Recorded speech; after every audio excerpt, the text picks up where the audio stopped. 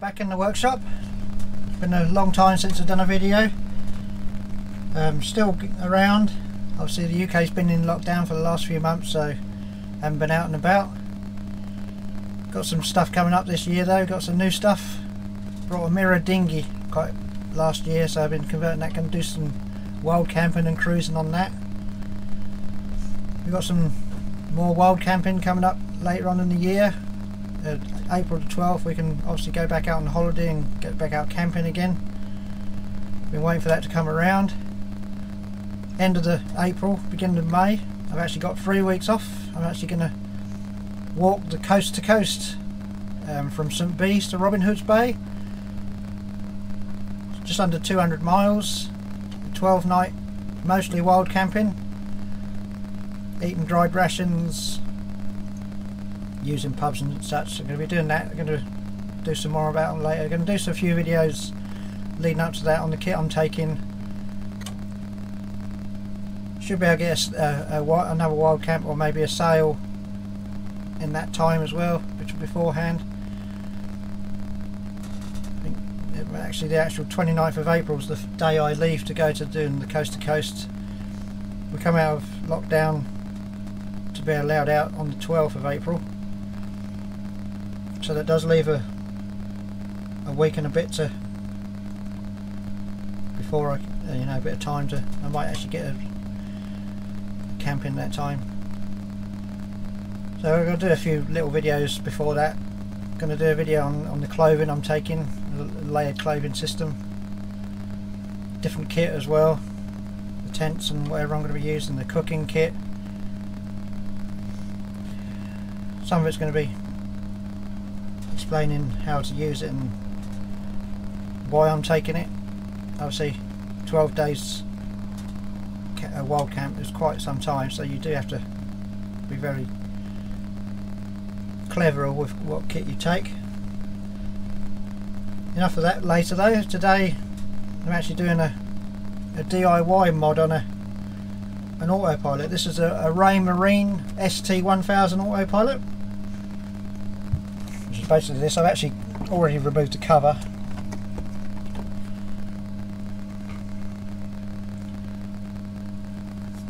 What I'm going to be doing, I'm going to be adding this PCB. What that is, that's going to allow me to operate the, the remote control.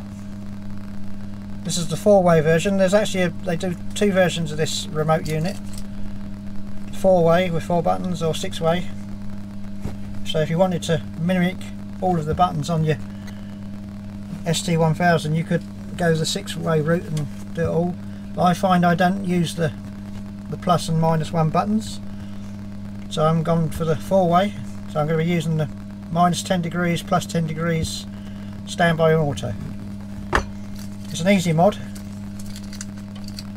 Supposedly them switch is going to mimic what's on there.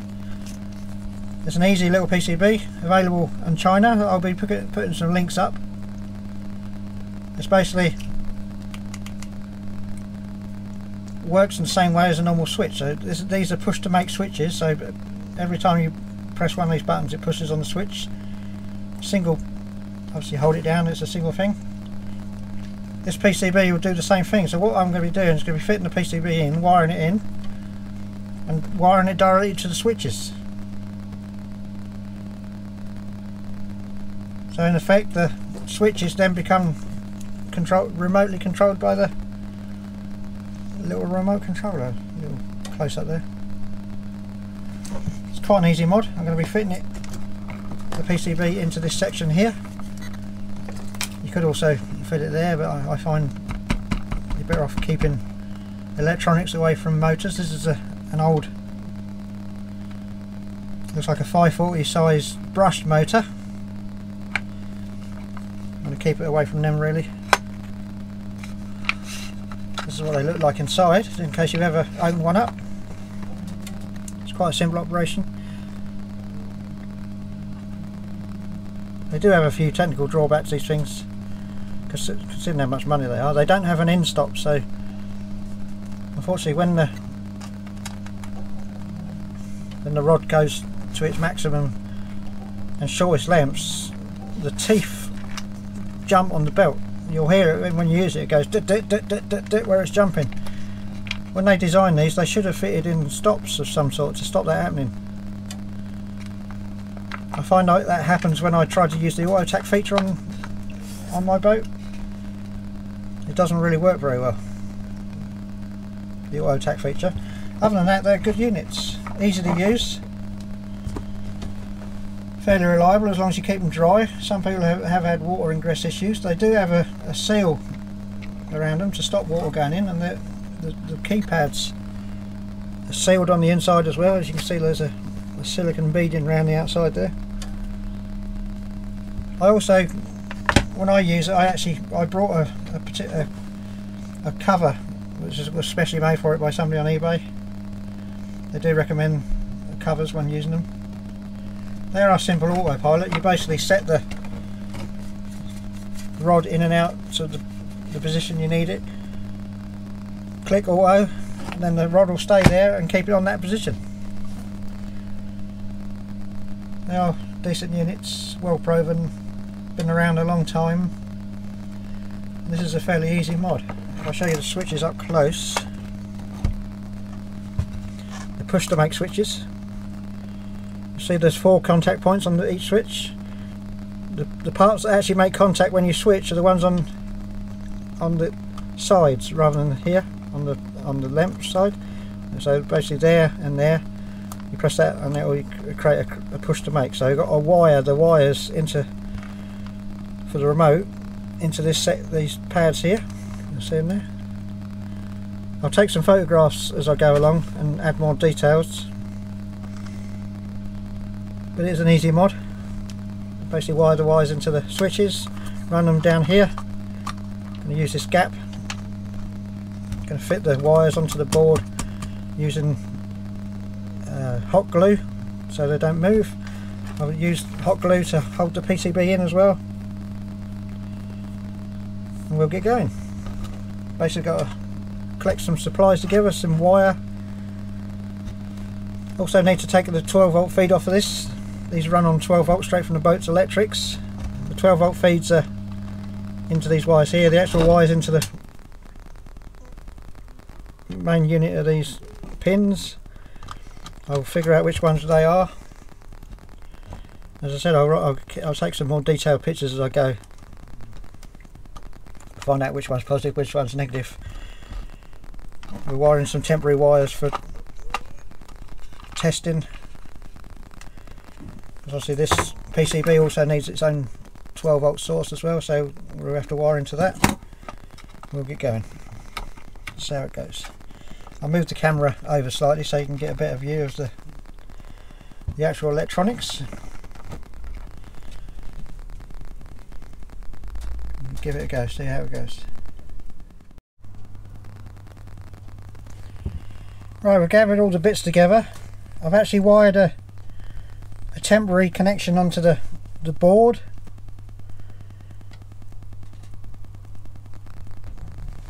Like a little screwdriver. You can see that it's actually powered up at the minute. You see the display. This side is a positive connection, positive 12. That's the negative 12 connection on that side you'll see the pins underneath there there's a brown and blue wire going in. You'll see which ones are the positive.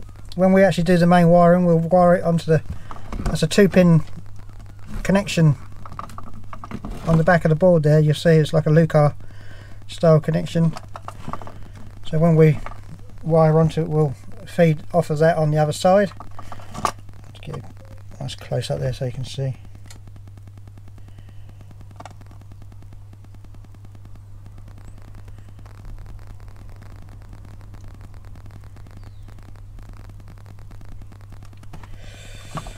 wrote on the board the connections to match the switches.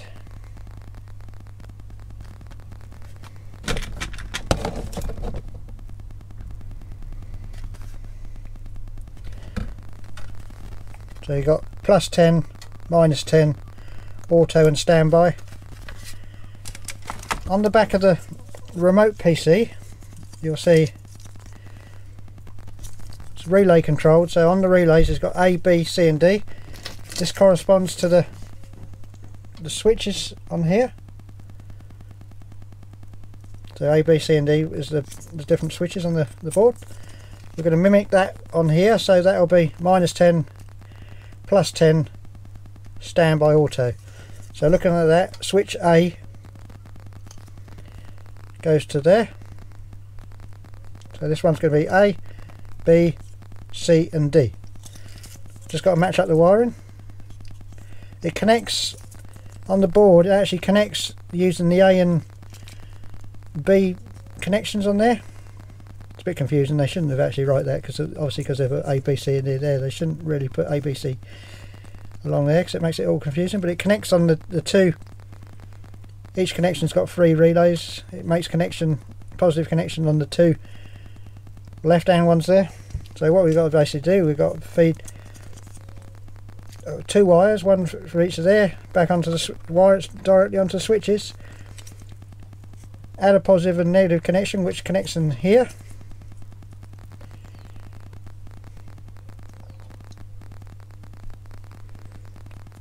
and then it should work. I've gathered all the wires together. We're going to use red and black for the, the positive and negative. Four different colour wires for the various switches. Here we go. I'll do it on. I'll fast forward this bit or time lapse it, one or two.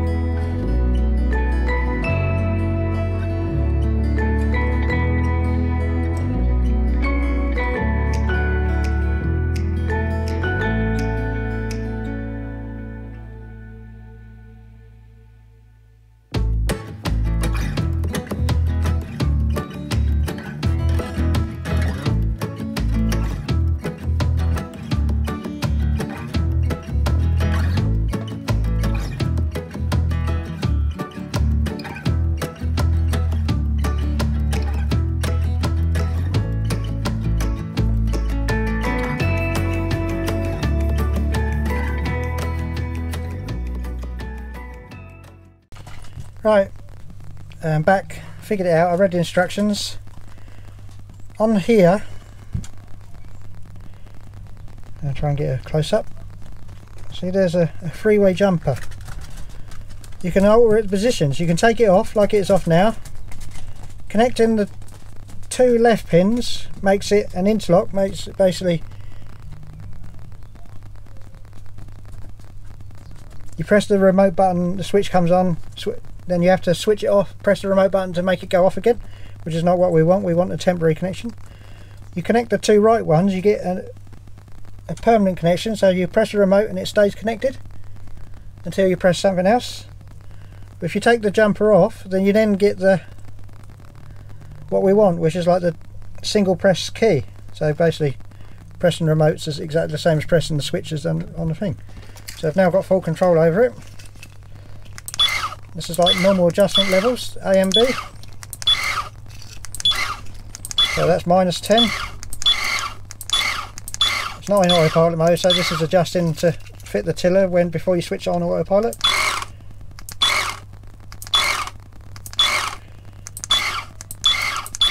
And you switch on autopilot using D. It's now in autopilot mode.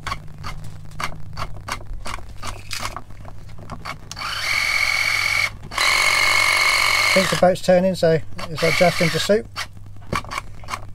we're back in course that's it on standby we'll see takes it out of autopilot again. Autopilot. Obviously once it's in autopilot mode you can adjust the course plus or minus. You can add 10 degrees by doing that.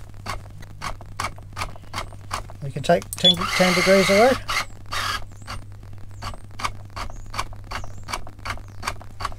And stand by again, take it off. So it's now fu fully functioning. So it, does work straight out of the box. The connections are A and B to the switches. You just need to remove the the jumper to put it into the like normal latch switch mode. So each you'll be able to hear, well, I don't know if you'll be able to hear it on the thing, you, you might be able to hear the, the relays clicking. It's all working. Two remotes, it comes with it. These boards are about £10 on eBay or AliExpress. I'll stick some links up. I'm now going to fit it into the case. I'm going to use some hot glue for that. I'm going to hot glue the wires down so they're nice and neat. I might have to readjust the length slightly. Now I know it's functioning.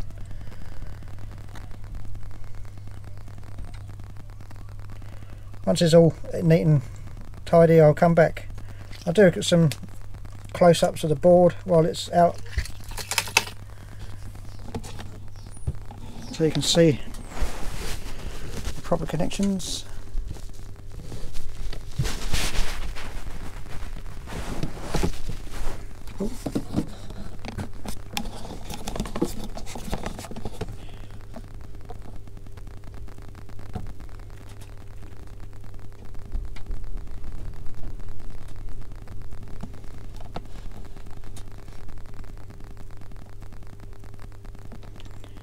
You can see the jumper there. The little switch is actually for for the remote control learning. You can actually add remotes if you want. Obviously two's enough for me, but if you want you can add. Obviously this board can be used for all sorts of things. It's good for general projects. There's the basic connections on the board. The white wires you see are temporary ones so I can add a battery. I've got a temporary 12 volt battery connected.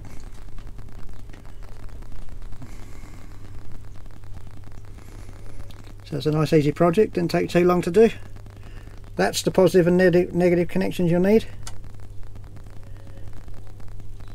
Obviously, make if you do do this, make sure your wiring's nice and neat.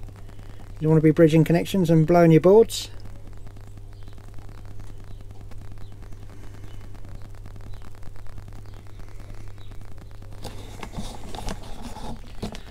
I'll fit it all together, I'll hot glue the wires down, get it nice and neat come back and you'll be able to see the final result.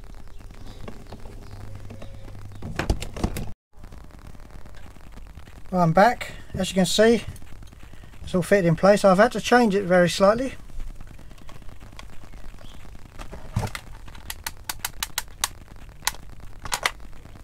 Because of the wires. A second, there's a couple I haven't put in place.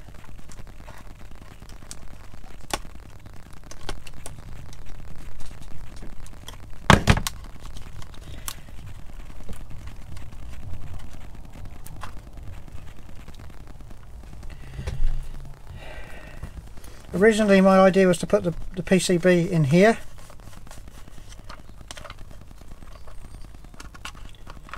That didn't work so I've had to change the idea slightly.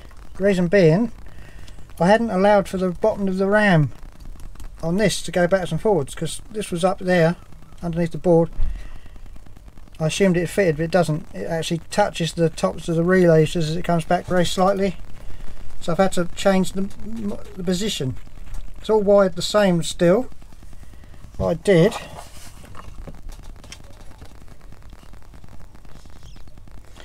moved the PCB to the back here.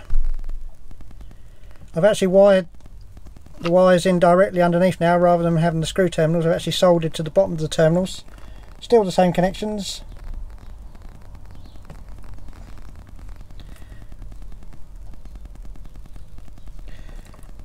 It's just soldered in. I've glued the board in with hot glue so it's nice and stable, can't come undone. because the board's gone at the back the wires have had to route through underneath the control. To do that I had to remove the the, sheath on the original cable because it to allow for enough room for the new cables to go through. But that's come off all right and that actually goes down all right. I've actually already had this together so it does actually fit all together there's a gap underneath here a U channel where all the wires run. As long as you take the, the sheath off by the sheath I mean I mean the the cable. There's a multi-core cable that wires to the boat that terminates in a plug. That was actually in there with a cable inside. All I did is cut it off with a pair of cutters. By taking that off it's quite thick Uh, that allowed enough room for the wires to fit underneath without any modification. Had to modify the top chassis just a touch to allow for the board.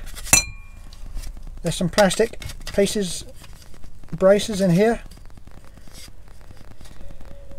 What I did I cut I snipped them away with snip, snippers and pliers to take away some of the little channels because otherwise it didn't allow it to fit it's not enough for, to cause any issues.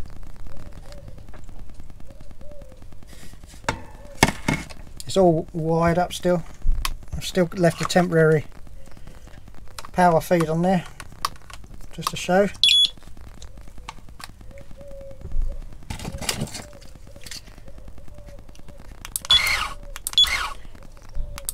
As you can see it's still working.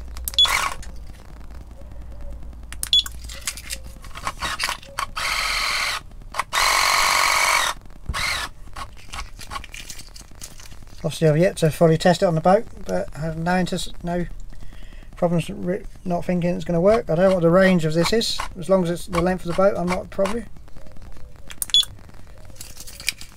But it's all functioning.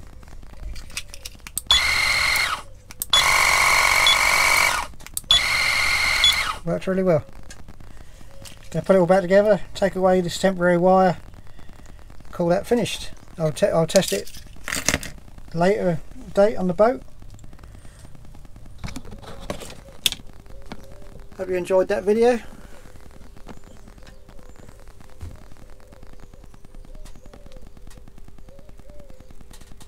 I don't do many DIY videos. I thought I'd do this one because I haven't actually seen anyone do this on YouTube yet, so I'll give an indication. Don't forget though, if you do do this, you are voiding your warranty, so don't do it if it's a new unit you don't want to void your warranty. And obviously only do it if you think you're capable of the soldering? It's quite intricate soldering. You want to make a mess of your boards. Obviously it's going to cost a lot of money to fix. Hope you enjoyed it. Going to see a lot more videos soon. Get the lockdown over and done with. A bit more wild camping more kayaking. Kayak camping kayak fishing sailing. Bit of everything don't forget doing the coast to coast end of April I'll put up some more videos about that beforehand.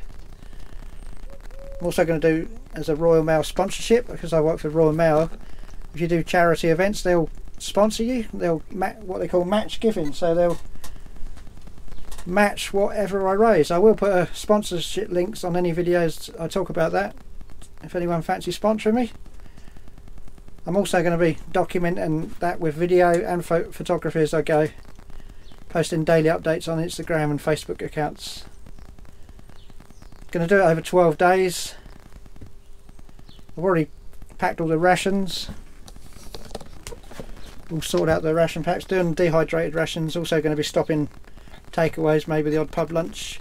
Pubs open again on the 12th for outdoor serving, so hopefully should be able to get some sustenance that way dry rations will keep me going for the rest of the time. But more about that later. I hope you enjoyed this video. See you later